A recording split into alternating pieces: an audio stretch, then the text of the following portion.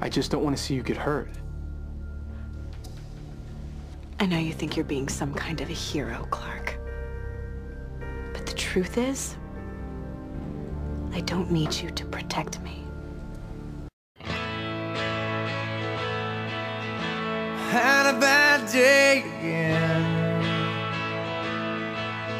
She said I would not understand. Left a note and said I'm sorry. I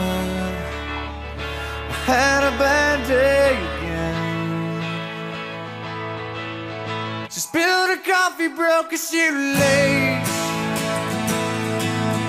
Smeared the lipstick on her face.